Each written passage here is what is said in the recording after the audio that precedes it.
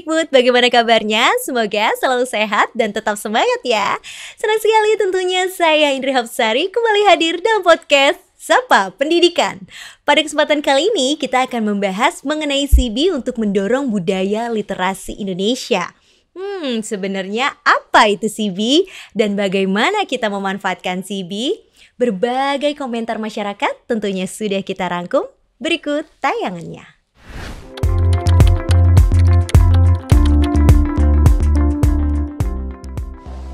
Kalau dengar pernah, tapi aku belum mengerti itu apa. Nah, kalau sih aku baru pertama kali denger.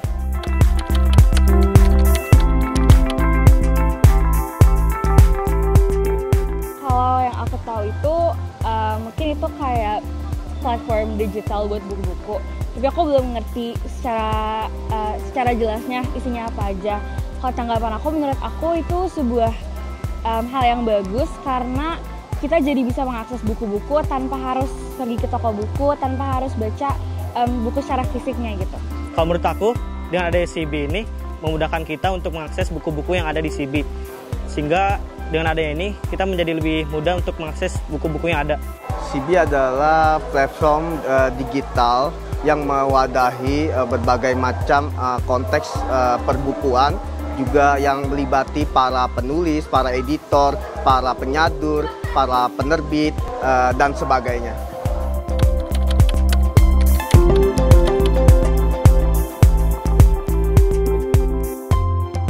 Harapannya adalah bagaimana uh, kualitas perbukuan di Indonesia, entah itu dalam bentuk fisik maupun digital, dapat dinikmati atau diakses kepada uh, masyarakat kalayak uh, secara luas dan dapat dinikmati juga mulai dari Sabang sampai Merauke. Aku berharap akan lebih banyak buku-buku yang berkualitas yang bisa diakses sama masyarakat banyak karena um, kita tahu juga kalau misalnya literasi itu penting banget apalagi buat generasi-generasi um, selanjutnya yang ada di Indonesia. Jadi menurutku dengan kita meningkatkan kualitas dari buku buku itu sendiri dan um, gimana buku itu bisa tersebar luas kayak misalnya dari platform yang kayak CB atau um, dengan gerakan-gerakan lainnya menurut kayak gitu sih. Harapan aku ke depannya sih semoga banyak buku-buku yang lebih menarik lagi dan kayak banyak lagi deh pokoknya. Lumayan banyak ya berbagai komentar dari masyarakat mengenai CB. Dan pastinya kita akan membahas bersama dengan narasumber yang sudah hadir di studio yaitu Bapak Supriyatno selaku Kepala Pusat Perbukuan Kemdikbudristek. Halo Bapak, apa kabarnya? Alhamdulillah sehat. Semoga selalu sehat ya Pak ya. Alhamdulillah. Pak, kita akan ngobrol-ngobrol sedikit Pak. Tadi kita sudah melihat berbagai komentar-komentar uh, ya. dari masyarakat. Dan tentunya masyarakat juga penasaran nih Pak, ingin membahas lebih jauh mengenai CB. Sebenarnya apa sih Pak uh, sistem informasi perbukuan Indonesia atau yang biasa uh, kita kenal dengan CB? Oke, okay. uh, CB ini adalah sebuah platform digital yeah. ya, sebuah layanan informasi dari pemerintah ya, khususnya terkait dengan uh, perbukuan, yeah. berbagai informasi terkait kebijakan, terkait dengan apa pengembangan SDM ya. perbukuan yeah. dan juga regulasi perbukuan itu uh, di sajikan dalam uh, platform yang uh, kita kenal sebagai CB atau Sistem Informasi Perbukuan. Ya. Oke, okay. jadi uh, CB itu sebenarnya uh, sudah hadir atau baru dikemas atau memang sudah lama sih Pak?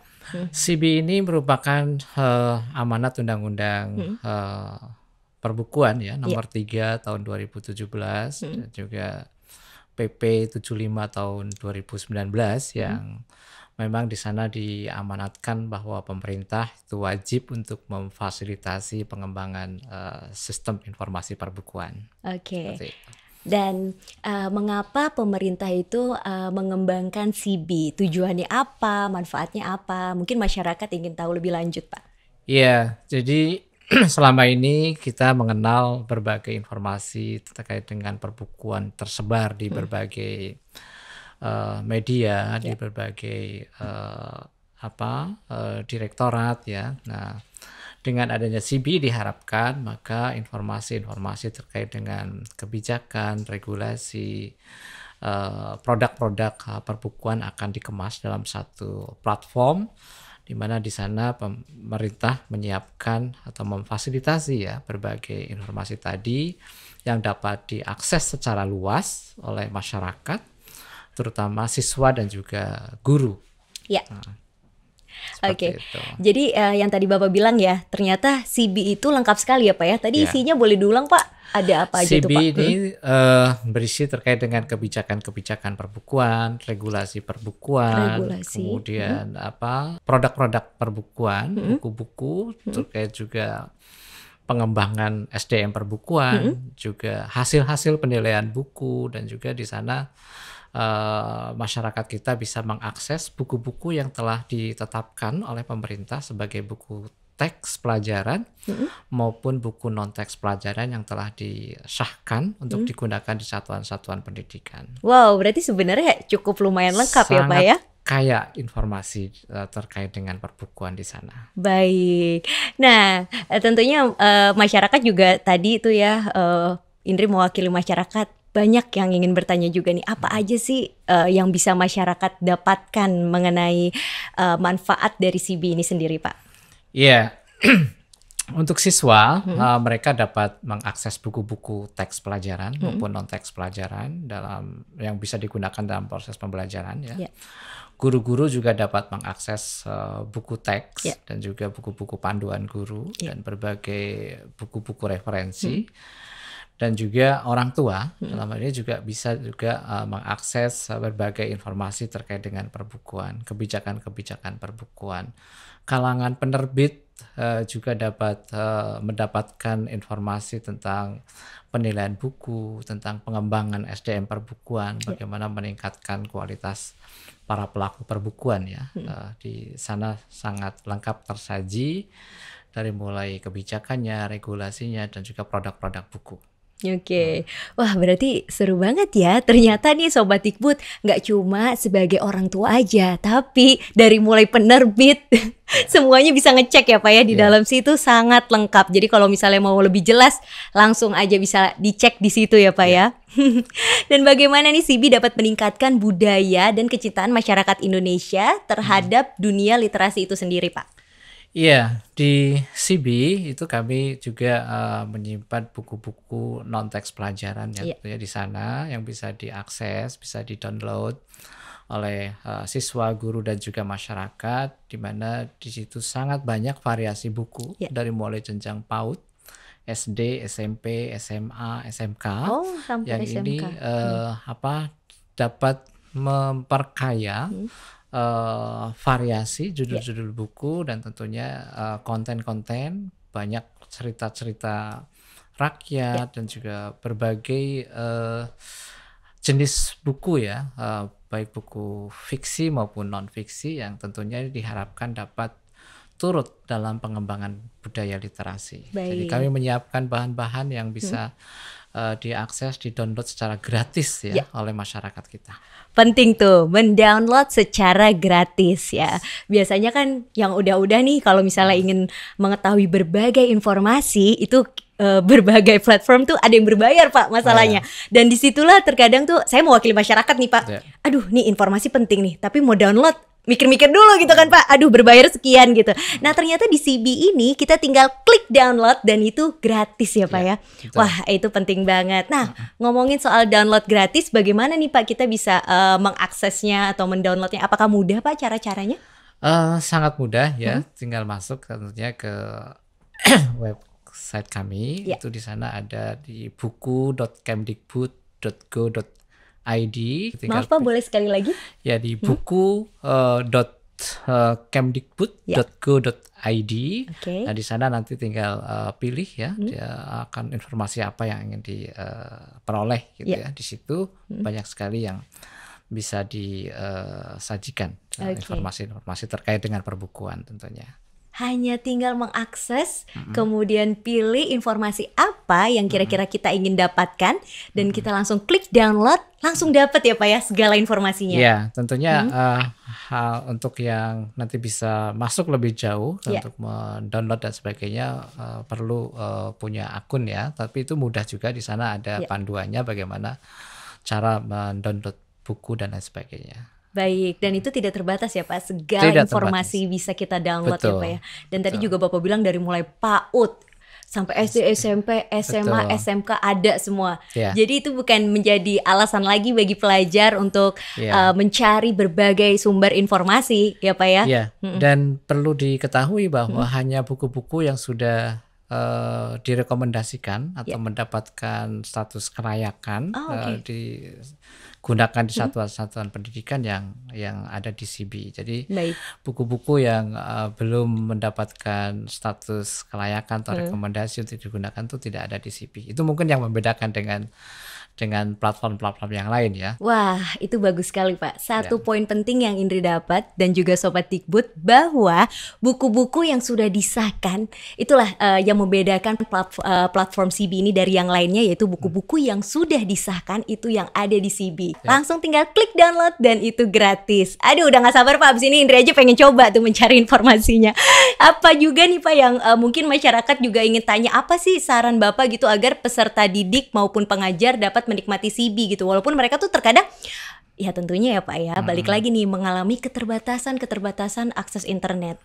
Iya, eh, di CB sebetulnya eh, siswa, guru maupun orang tua itu dapat download dan membacanya secara offline, Ya. tidak harus selalu online. Oh. Itu saya kira yang salah satu kelebihan ya. Mm. Jadi eh, bisa online maupun offline. Hmm, jangan sedih Sobat Dikbud. Jadi tadi Bapak sudah bilang kalau misalnya nih ada wifi, oh langsung aja di-download dulu ya Pak ya. Setelah di-download, diakses eh, itu free langsung ya Pak ya.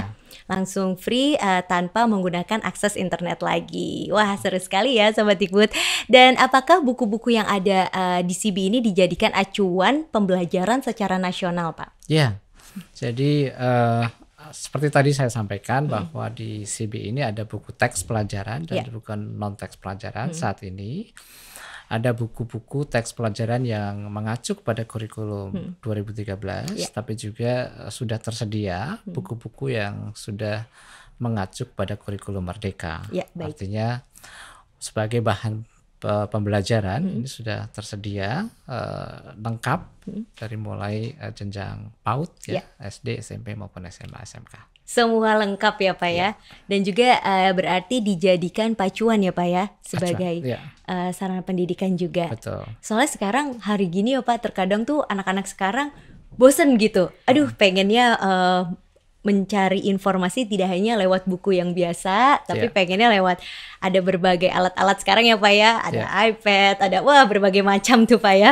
Jadi itu bisa diakses langsung berbagai informasi teks maupun non teks ada semua di situ ya Iya. Pak. Pak setelah diklik download eh, kita mendapatkan segala informasi di situ. Boleh nggak sih Pak di print gitu Boleh. untuk Oh boleh ya. sangat boleh. ya. Oh sangat boleh ya Sangat Pak. boleh. Di copy di print berarti boleh Iya, ya Pak ya. Karena itu sebetulnya apa yang ada di CB ini, terutama buku-buku teks pelajaran ini Ya. kan memang domain publik ya. Jadi memang eh, dipersilahkan eh, siapa pun boleh memanfaatkan apa-apa Oke. yang produk-produk buku di sana. Wah menarik sekali. Setelah di download, eh, di print, kemudian bisa dipelajari untuk pribadi. Nah itu dipelajari untuk pribadi Pak. Kemudian nih eh, pasti timbul pertanyaan, boleh nggak sih kalau misalnya di copy lalu diperjualbelikan? Iya, jadi prinsip eh, buku-buku teks pelajaran ini kan memang menjadi domainnya eh, publik. Ya. gitu. Tapi ada persyaratan tentunya eh, untuk menjamin eh, kualitas Ya. eh, hasil cetak. Ya. Itu misalnya mau diperjualbelikan, Ya. maka ada persyaratan-persyaratan bagi percetakan yang akan menggandakan tentunya mereka harus juga mendaftar dulu di Baik. eh, pusat perbukuan melalui CIB juga pendaftarannya. Dan ini eh, semata-mata kita ingin agar eh, jaminan kualitas hasil cetak itu bisa kita peroleh. Ngobrolin kualitas nih Pak. Ya. Ah, tentunya ada standarisasi tersendiri nih oleh pemerintah. Boleh dijelaskan nggak Pak? Ya, kami eh, sebagai turunan dari Undang-Undang 3 2017, kemudian PP 75 2019 telah eh, menerbitkan Permendikbud tentang standar eh, buku ya, baik buku teks maupun buku non teks pelajaran di mana di sana ada persyaratan-persyaratan isi buku, kemudian ada kriteria-kriteria bagaimana penyajian buku, bahasa dan juga termasuk desain dan grafikanya. Jadi standar ini yang menjadi acuan eh, bagi para penulis, Ya. penerbit di dalam eh, menerbitkan buku-buku. Baik. Berarti sudah ada acuan tersendiri ya Pak Betul. ya. Kita punya Permendikbud tentang standar eh, buku. dan dipastikan semua eh, perubahan-perubahan itu akan terus terupdate eh, di karena kan kita tahu bahwa buku ini kan tidak sekali jadi ya. Ya. Jadi buku ini selalu mendapatkan eh, ada masukan-masukan dari masyarakat dan itu kita Upgrade. uh, upgrade Ya. uh, di platform CB. Jadi itu kelebihannya barangkali. Jadi uh, di buku-buku yang ada di CB ini adalah buku-buku edisi yang terbaru yang uh, sudah uh, apa namanya selalu mendapatkan uh, berbagai uh, masukan dari masyarakat. Iya, sangat menarik ya Sobat Dikbud ya. Udah kita mendapatkan informasi dengan sangat mudah, downloadnya gratis, bisa di print, dan informasinya juga sangat upgrade ya Pak ya. Ya. Kemudian dampak apa yang paling eh, dirasakan nih semenjak adanya CB bagi penulis, terus penelaah, penerbit, dan terpaling penting tuh untuk masyarakat secara luas Pak? Iya, di CB seperti tadi saya sampaikan di awal eh, banyak informasi-informasi kebijakan ya dan juga informasi informasi terkait dengan pengembangan SDM perbukuan. Melalui CB kami sampaikan kepada para penulis eh, untuk eh, mengikuti eh, uji sertifikasi, Baik. kemudian mengikuti workshop-workshop maupun seminar-seminar dalam rangka untuk peningkatan uh, kualitas para penulis maupun pelaku perbukuan yang lain ya. Iya. Tadi ada penulis, ada editor, ada ilustrator, ada desainer buku, ada apa namanya penerjemah dan lain sebagainya. Iya. Jadi se- ada 10 pelaku perbukuan Oh, ya baik. uh, menurut uh, undang-undang sistem perbukuan di sana yang terus uh, menjadi uh, apa namanya uh, sasaran kami di dalam melakukan uh, pembinaan untuk uh, meningkatkan uh, kualitasnya. Itu ada di uh, informasi-informasi itu ada di CB. Oke, berarti Nah. kurang lebih CB ini sebenarnya sudah berapa lama sih Pak? Eh CB ini sejak sebetulnya sejak diamanatkan ya di Undang-Undang eh, 3 2017 tapi praktis baru mungkin sekitar tiga tahun ini eh, apa namanya eh, terus kita eh, benahi terus. kita tingkatkan kita upgrade ya sesuai dengan kebutuhan Mm-mm. saya kira eh, masyarakat kita bisa memanfaatkan ini sebagai media yang memang dapat eh, memberikan eh, berbagai informasi terkait dengan perbukuan. Iya, benar sekali Sobat Dikbud. Nah, harapannya nih Pak ke depan Ya. mengenai CB untuk masyarakat luas apa aja Pak?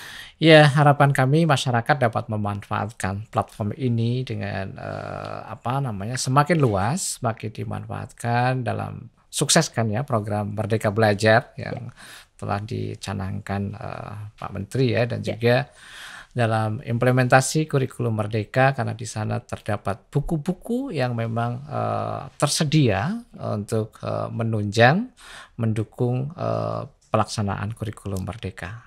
Jadi harapan kami manfaatkanlah CB eh, dalam rangka untuk eh, pelaksanaan eh, program eh, atau kebijakan Merdeka Belajar ini. Yuk Sobat Dikbud dan tentunya eh, tinggal klik, tinggal download segala informasi ada di situ ya Pak ya. Udah gitu semuanya itu eh, informasinya sah. Jadi semuanya lengkap, semuanya jelas, tinggal langsung download bisa di print juga. Di mana Pak kalau boleh diulang downloadnya? Ya, di bisa di apa masuk- Aksesnya? aksesnya Ya. ke eh, buku.kemdikbud.go.id. Wah seru banget ya Sobat Dikbud obrolan kita hari ini mengenai CB Dan pastinya sudah menjawab segala pertanyaan eh, mengenai CB Bapak terima kasih banyak ya Pak. Sama-sama, terima kasih Mbak Indri. Sehat selalu Bapak. Amin.